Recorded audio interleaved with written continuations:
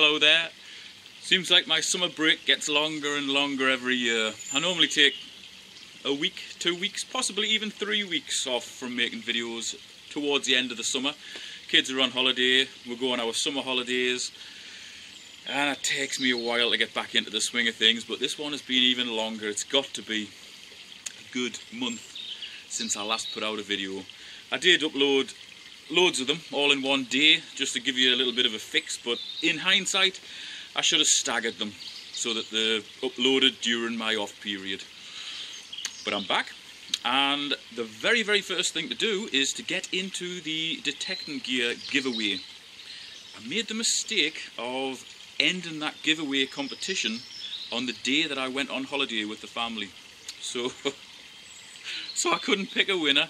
I was away for two weeks, couldn't make the video, and I've just had a few, I've had a hell of a lot of work on.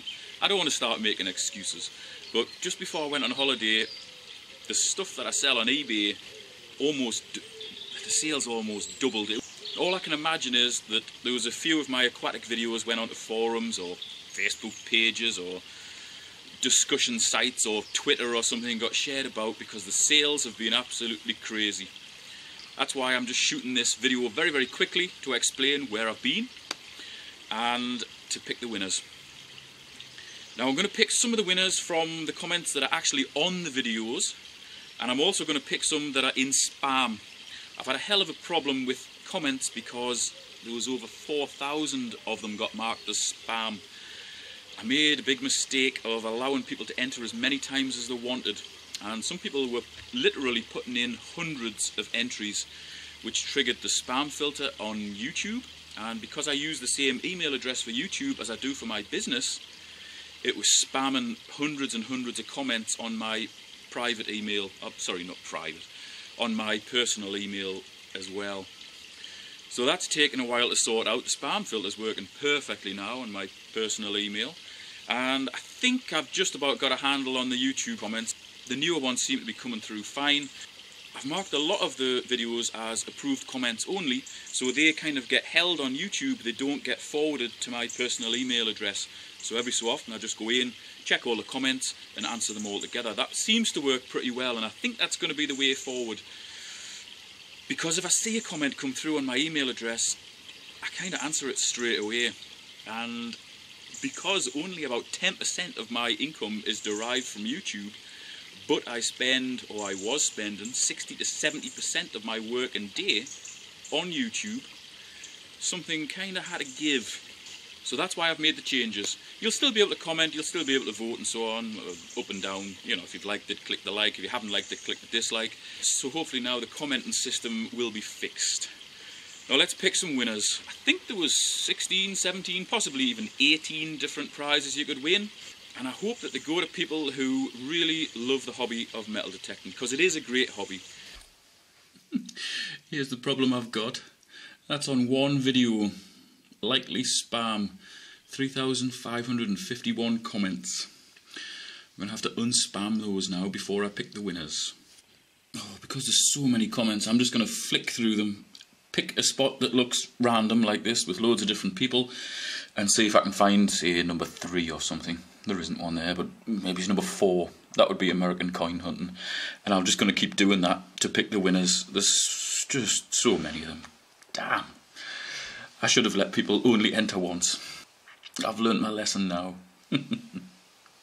Prize number one was the t-shirt from Treasure Mountain Detectors, the Roman map from Richbis Detecting, and a Pro Pointer cover from Papa. Thanks very much to all the people who give me those things. Uh, actually, I won the map in Rich's competition, so thanks very much, Rich. I'm recycling it. I've had a good look at it, and it's a great map. Right, prize number one Anthony Burns or Anthony Burns. Anybody knows Anthony? Get in touch, tell him he's won. Or if you're watching yourself, Anthony, send a message to my email address, which will be in the video description for this video. Let me know which prize you've won, say prize number one, and I'll get it sent out to you. Looking for prize number two, which was the little flask sort of thing. Hey up, here we've got one, American coin hunting. Well done, Dave. You've won that. That was the little thermal flask thing and the silver coin, the National Trust silver coin. Send me your details and I'll get that out to you. Okay, prize number three, which was the Deus stuff, which, uh, what did it, what was that? A couple of control box covers and also a book on hammered coins. So that was won by Crafty Carter. Well done. Thank you very much for entering. Send me your address and I'll get that out to you.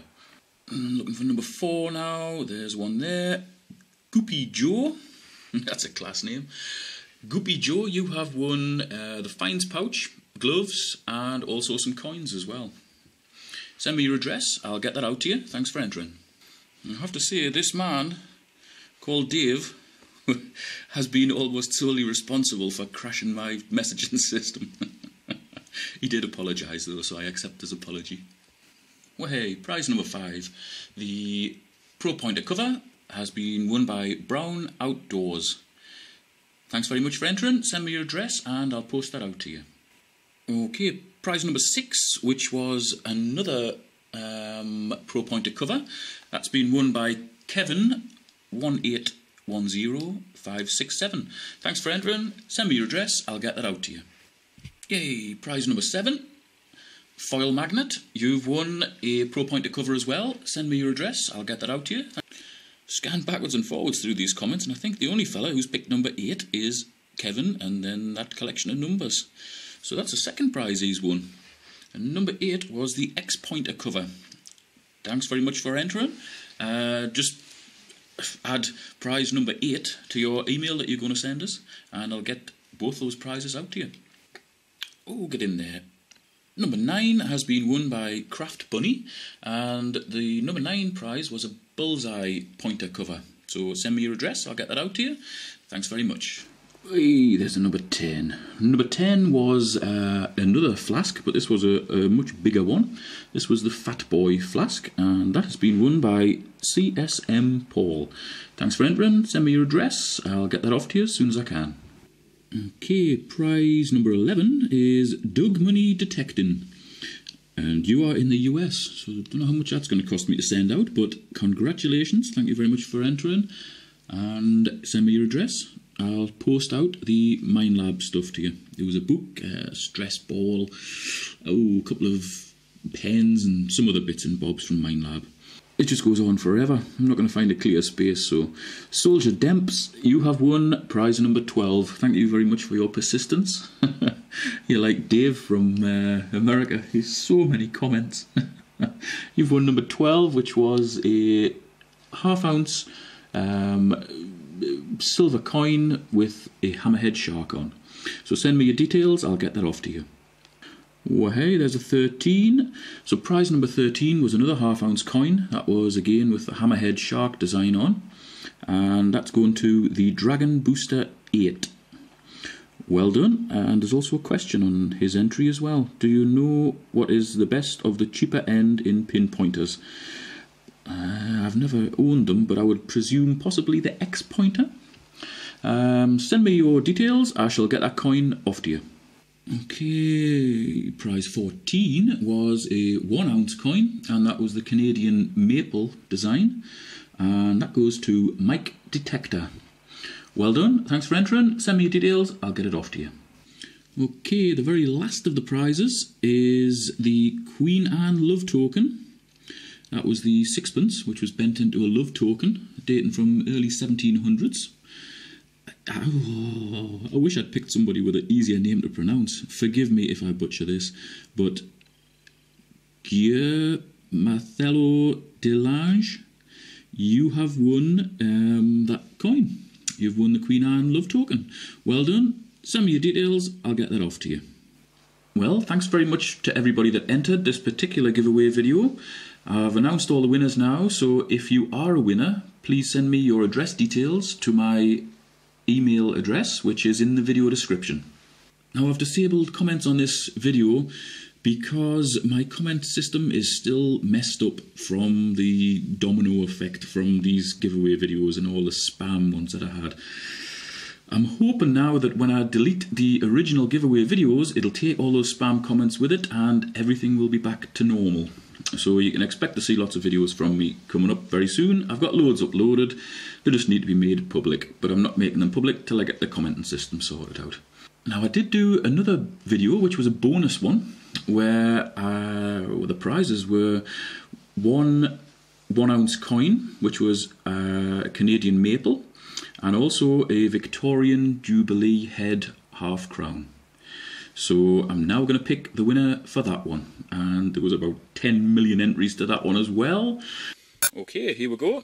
Got some electronic scales here, accurate to within about 5 grams, I think. Here's the cannonball I found on the mansion site quite a while ago. And as outlined in the giveaway video, this is to win two silver coins. If you've guessed the correct weight of this, you're in with a good chance. 600 grams exactly. Right, this one's a little bit easier to pick. I just put the search bar on the top there. 600 has come out with Adrian, sorry, Adrian Wright Meyer. Well done, you've won those two silver coins. Send me your details, I'll get them off to you. If you are a winner, you're very lucky because there was a hell of a lot of people entered these competitions. So please send me your address details, no matter where you are in the world, to pondguru at btinternet.com.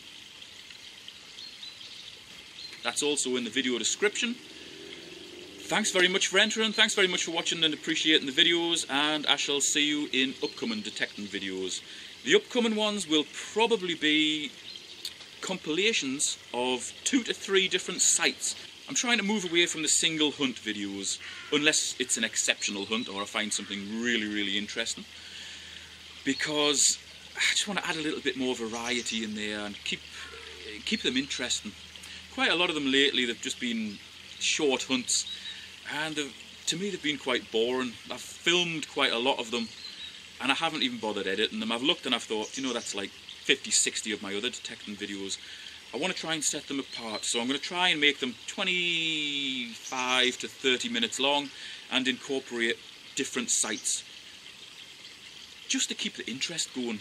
Just so viewers can see different sites, different detectors in the same video, and maybe throw a bit of advice in there as well, which I always like to do. So I'm due to go on a potentially good coin shooting site in the next week or so, and hopefully there will be a video come from that. Thanks very much for watching, catch you next time.